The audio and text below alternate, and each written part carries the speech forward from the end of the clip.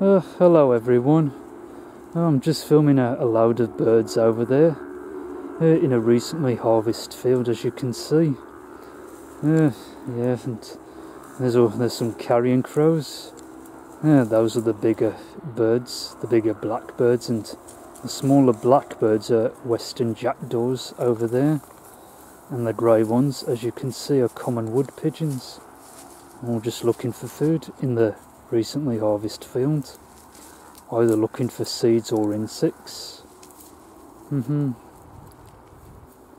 Yeah. yeah. Many birds, including carrion crows, western jackdaws, and yeah, and of course common wood pigeons, often feed in fields, and especially recently harvested fields, where they can, you know, where they often usually find easy pickings.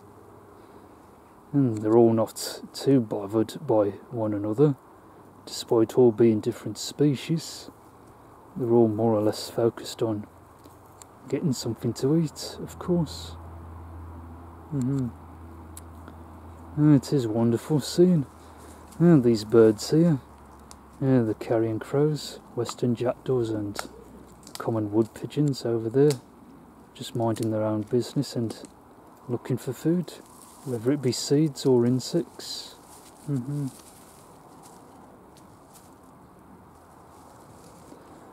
Yeah.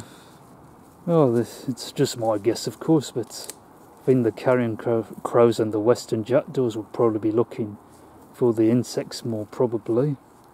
Though they do occasionally feed on seeds as well, both carrion crows and western jackdaws, because they have a varied diet.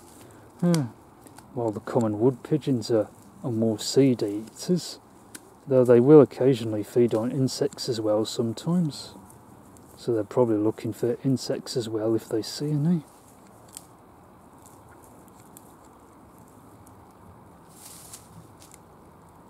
Ah, some more carrion crows, crows have shown up.